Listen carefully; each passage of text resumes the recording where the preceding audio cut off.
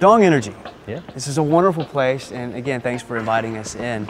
Uh, what do you guys do at Dong Energy? Well, Dong Energy is the biggest power company in Denmark. We're uh, a major producer of oil and gas, and we're uh, a leading developer of uh, wind energy parks, uh, both here in Denmark, but also in Scandinavia and uh, the rest of the Nordic region.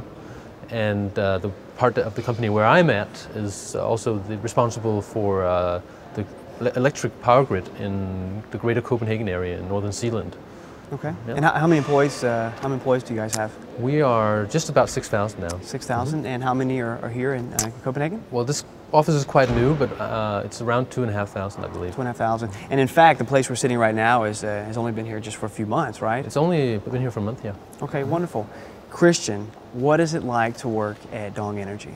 Dong Energy is, uh, well, I've only been here for just about four months now, Okay. but my first impressions have been great. It's uh, been like uh, an ambition uh, being fulfilled for me.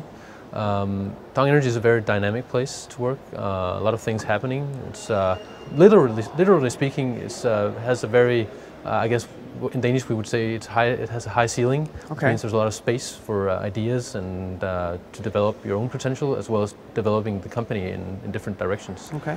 No, if we took a let's say a helicopter look at, uh, at at what you guys do, and look at the energy industry altogether? Uh, what's it like to work in, in that industry? Well, for me, uh, it's been an ambition and a dream to to actually actually work in this industry.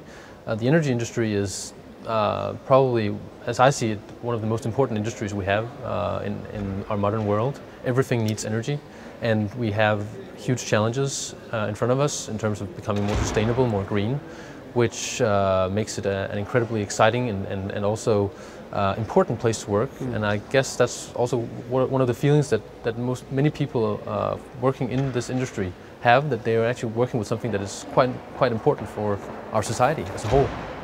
Christian, you're a business developer here at Dong Energy. What what type of businesses are you are you developing? Well, I work with our energy distribution company, uh, trying to uh, realize our vision of a smart grid. And uh, that this, in a nutshell, means that we actually have to become much better at understanding how consumers consume energy and what will actually make them interact better with the with the electric grid, uh, using power when it's there and using less power when there's less capacity in the grid.